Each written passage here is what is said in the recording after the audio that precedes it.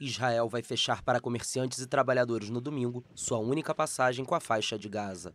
A decisão foi anunciada após militantes do enclave palestino terem lançado três foguetes contra o território israelense. A medida vai afetar milhares de palestinos deste empobrecido território, submetido ao bloqueio israelense há mais de 15 anos. Apelamos aos mediadores, a todos os tomadores de decisão e às Nações Unidas para pressionar a ocupação a abrir a travessia, porque os trabalhadores não vivem em um estado de luxo e estão cercados há 16 anos. Portanto, fechar a travessia neste momento vai pressionar e afetar negativamente famílias e trabalhadores. Israel controla todas as entradas e saídas do enclave, tanto de mercadorias quanto de pessoas. A nova escalada começou após quatro atentados em Israel entre 22 de março e 7 de abril, que deixaram 14 mortos. O exército israelense lançou várias operações na Cisjordânia, algumas delas letais.